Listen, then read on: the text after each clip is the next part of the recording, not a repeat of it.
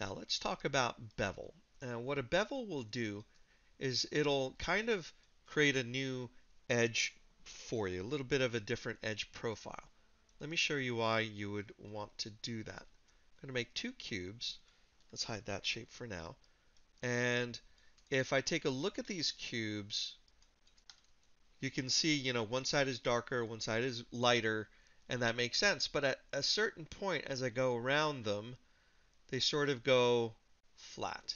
And you lose the volume of these things. You lose that, that sort of corner, that edge. So let's make a bevel to make the edges a little bit more realistic. Now what I'm doing is um, selecting all of the edges that I want to uh, bevel. So let's do these three. And I'll select the edges and I'll go to Edit Mesh, Bevel. And I don't necessarily need to go into the options because when I click on Bevel, I'm going to get this, which is called a caddy. And this gives me the options that I would have had in here as well. Uh, so fraction is how much the bevel is for your object. Let's go 0.05. Uh, actually, let's go to 0.03. Let's make a very slight bevel here. And you see it's a flat, it's kind of what's called a chamfer because it's sort of a flat cut.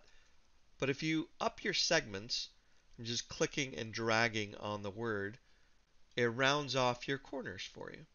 And what that does is it gives you a nice sort of corner. So now if I go back to looking at these cubes like I did before, going around them, you'll see that the bevel catches the corner and makes for a nicer look to it.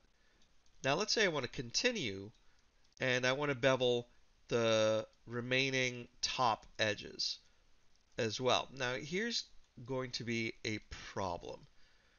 If I want the same bevel for these top edges as well, unfortunately, I'm not going to get them. I'll go to bevel and this is the extent of my bevel ability. It only will allow me to bevel as big as this face is, as, as much distance as I have here. So that bevel, despite the number of segments, will never be the same as this without a lot more work. So instead of that, instead of doing it in two separate parts, so you end up with two separate bevels, is try to think ahead and select all of the edges that you want to bevel together so that you're doing them all together. Like I wanted to do the, the four up top and this one with the same bevel profile. Or if you want to do the whole cube together so that it's all beveled, you want to select that stuff together and then set your set your numbers the way that you want to get that nice look. And now you've got something that will give you some nice edges. So let's get rid of those and turn on my other shape.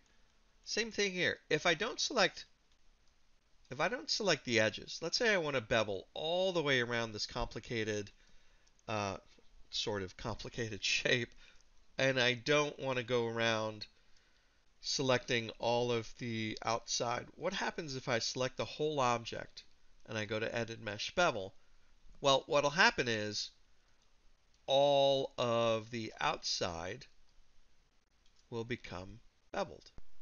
But, as you can see here, all of the inside edges will also get beveled. So you're actually increasing your poly count by quite a bit, especially if you're putting some rounding to it.